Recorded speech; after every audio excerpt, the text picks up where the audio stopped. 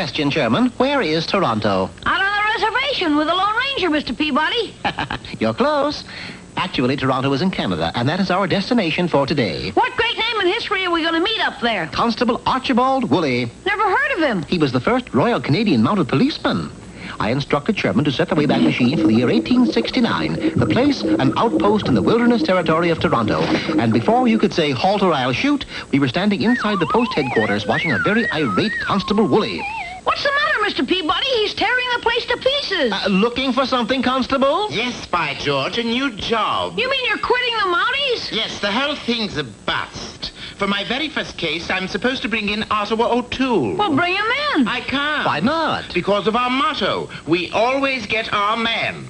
Ottawa O'Toole is a girl. Well, I convinced the constable that girl or no girl, Ottawa O'Toole had to be brought in. Following up the latest information as to her whereabouts, we arrived at the Pettigrew Fur Company only to find it in a complete state of disorder and a going out of business sign over the main gate. Trouble here, Pettigrew? Trouble ain't a word for it. Ottawa O'Toole struck again. She's ruined me. What did she do this time? She crossed all my minks with skunks. Now my business stinks. One good thing came of all this. O'Toole had left a very clear trail. Hoping to head her off before she could commit another atrocity, Constable Woolley took off, but didn't get very far, for Miss O'Toole had set a booby trap. Yes, and she caught a booby, too.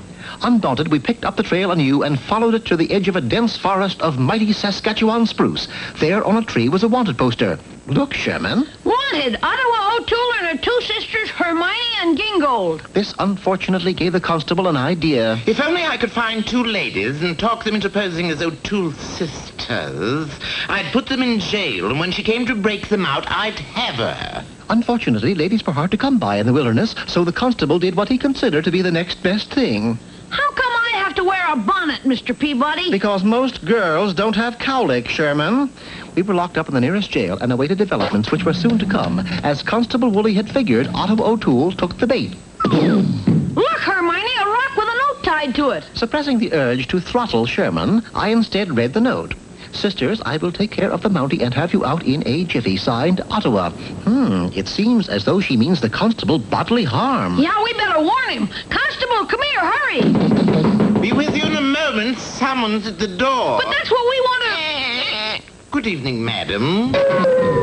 We're still locked up. How's she going to get us out? Just then there was a tap at the window. A hand thrust its way through the bars and dropped a long, thin object at Sherman's feet. A burning candle, Mr. Peabody. That is not a candle. Are you sure? Positive. When we came to, we were trussed up in the back of a speeding buckboard heading into a remote area. Our driver was obviously the fiendishly clever Ottawa. Also, obviously, she had discovered the ruse and was out to dispose of us. I'm awful hungry, Mr. Peabody. Mind if I eat my jelly beans? What jelly beans? I ripped a hole in your pocket and you've been dropping them at the rate of three beans per quarter mile. What did you do that for? To provide a trail for Constable Woolley.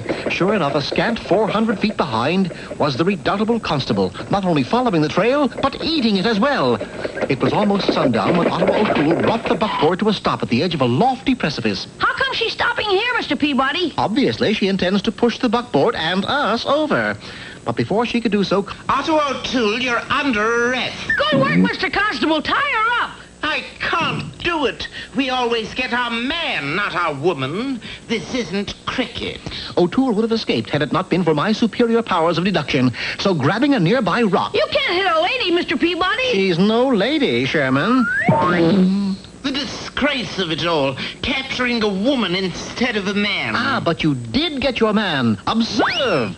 Ottawa O'Toole was a man disguised as a woman. Bravo, here, here, and all that, Tommy Raft. Gee, how did you know Ottawa was a man? Because she had five o'clock shadow at 3.30. That Constable Woolley sure is a great policeman. Very true, but he became even a better actor. He did? I never heard of him as an actor. Of course you have, Sherman. Surely everybody's heard of Mountie Woolley?